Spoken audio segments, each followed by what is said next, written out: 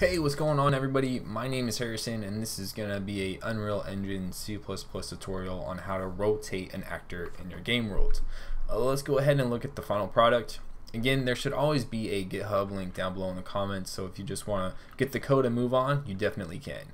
Uh, but if not, let's go ahead and continue and uh, move on with the video. Let's go ahead and play so we can look at the final product. So we have this uh, this cube and it's just rotating and we have the values over on our details panel. We can just put those back to zero and now it's not rotating or we can go ahead and just change one of the values to one or something and uh, now it's just doing that. So let's go ahead and recreate that in C++. Uh, let me delete that.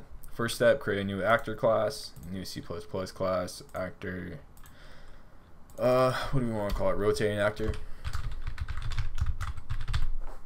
and create the class. Alright, so just created the class for us. In the header file, um, uh, in the header file, let's go ahead and create three variables that can be editable anywhere. So we can edit those values in the editor itself. So start with uProperty. uProperty allows Unreal Engine to recognize it. Uh, set the category so they're all kind of grouped together. Uh, we can call it the movement category.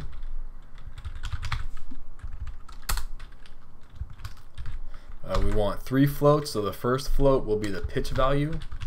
So we'll be doing pitch, yaw, and roll. It's just XYZ in my head. Uh, but I think rotation is just... Uh, I just copied and pasted those. Um, let's change the variable name. Instead of pitch, we'll set it to yaw. And then instead of pitch, we'll set it to roll. So that's it for the header file. Let's jump over to the CPP file.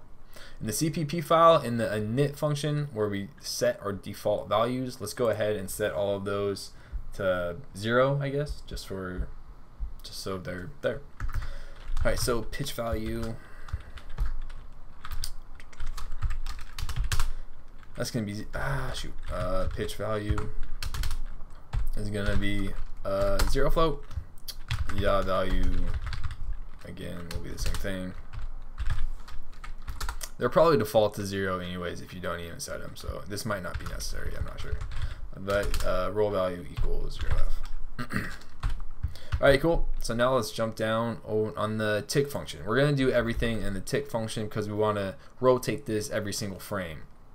So maybe you have something kind of in the distance or in the environment or maybe floating around a weapon or object or something. So we want that to happen every frame. Uh, what's the first step? I do have my notes right on the side of me so to kind of mitigate mistakes and you know speed these along. Uh, doo -doo -doo so we do want to get a rotator right now. So let's go F rotator. Let's set a F rotator. Uh, new rotation equals F rotator. So this F rotator is going to take in the three values that we defined above. Uh, pitch value, yaw value, and roll value. Now we want to set this, now we have to create a quad. So we do f quad equals quad rotation. That's our variable name we're giving it. You can call it whatever you want. Uh, quad rotation. And we're going to say that f quad equals new rotation.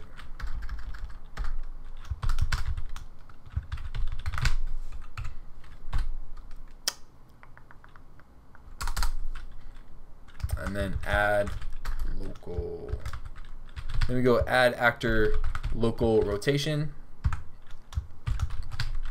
quad rotation, false. These are just default values. Zero, um, e teleport type. That's gonna be none. Actually, let's try to cut out this part right here. I don't think we need that. Let's get this, put this here, and get rid of this variable.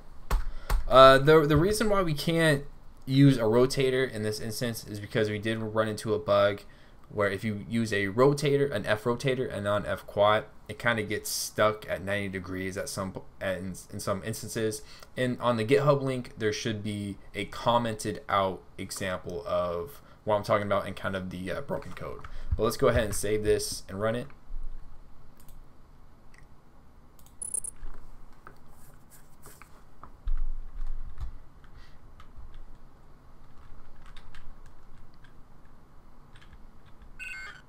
All right, where is this at? Uh, file. All right. Oh, my bad. I fix that typo. Go back to it and see if it works. Um, uh, false. There's another typo.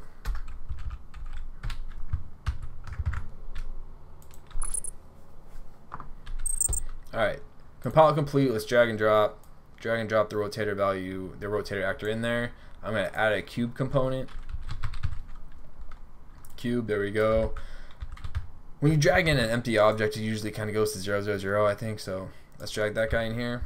All right, so we haven't set any values yet, but let's push play. So it's not doing anything.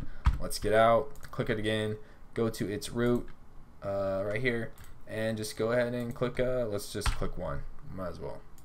So now it's moving one unit every frame. So we have a smooth rotating value.